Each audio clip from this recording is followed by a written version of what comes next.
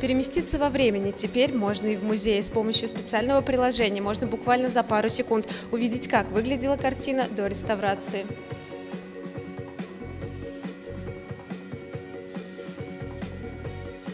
Картины и правда словно оживают под прицелом смартфона. Как по взмаху волшебной палочки открывается огромное количество информации. Кроме того, что пользователь приложения может увидеть, как экспонат выглядел до реставрации, он может прочитать в статье, как именно э, он приобрел тот внешний вид, в котором пришел на реставрацию. Например, эта скульптура была найдена директором музея грибоедовых мелитов по ленице для дров около церкви. Нижегородский государственный художественный музей стал первым в России, где провели такую оцифровку. Следующий на очереди Третьяковская галерея и музей имени Пушкина. Министерство культуры решило, что почему бы не объединить все музеи под одним приложением, чтобы пользователь мог скачать его один раз и посещая во время там, поездки в Москву, например, в музее, он мог э, воспользоваться этим одним единственным приложением.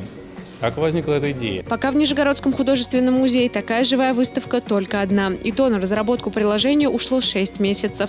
До 20 мая нижегородцы смогут изучить эту экспозицию и в буквальном смысле прикоснуться к искусству.